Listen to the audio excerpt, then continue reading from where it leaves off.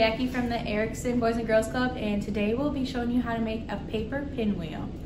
So first you're gonna need a sheet of paper, scissors, a tack if you have one, or a pencil will work as well. So first you're gonna start off with your regular size paper and you're gonna wanna fold it just like this so then you can cut off the extra edge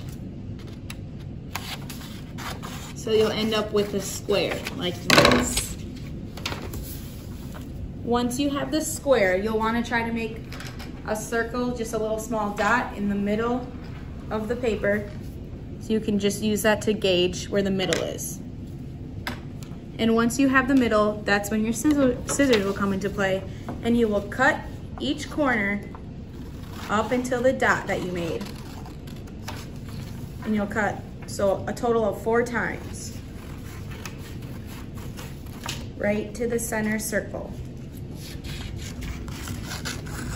Make sure you leave a little extra so you don't cut your paper completely off. You want all the pieces to still be connected when you're done. And then once you have that, you'll want to start folding your papers every other to make a small little triangle and you'll hold it down because then you'll start to see the pinwheel. Ooh.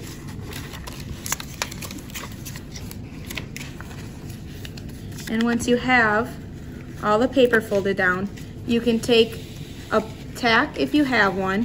Grab some tape. You can use tape too, or glue just to keep it all down. I'm gonna try the pencil route, so I'm gonna have them all overlapping. And then I'm going to push my pencil and grab a sharper one.